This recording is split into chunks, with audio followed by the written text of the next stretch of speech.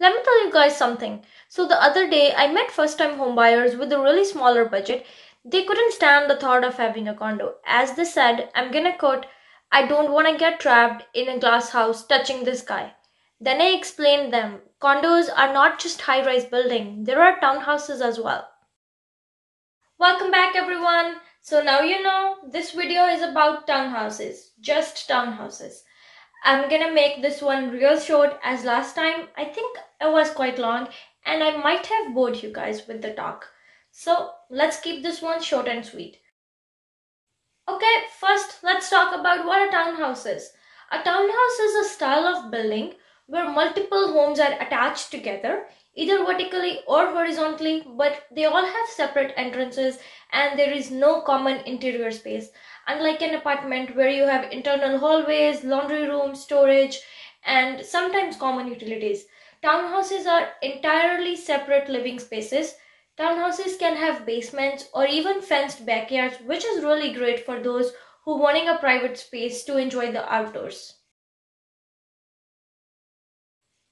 Townhouses are of three types themselves. First one is condo townhouses.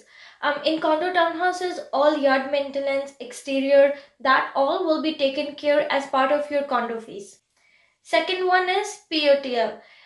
These townhouses are little different from condo townhouses. They have a smaller maintenance fees for garbage removal, snow removal, and road road maintenance, all that kind of stuff. But all the exterior and everything is your responsibility in these ones. Third kind is freehold townhouse. They're a lot similar to single family homes and biggest thing is they don't have any fees. They're very similar to detached, semi-detached homes. So in short, townhouse living gives you many freedoms of single family home with the lower maintenance of condo, flexibility and more privacy.